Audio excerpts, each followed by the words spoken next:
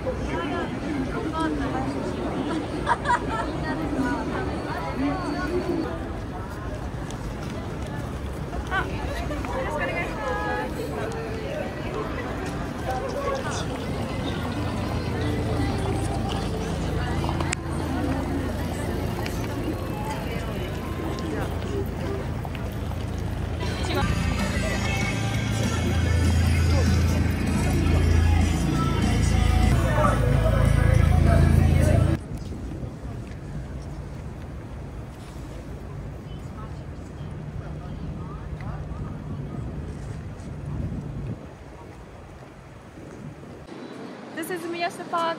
It's one of the most famous and popular park in Shibuya.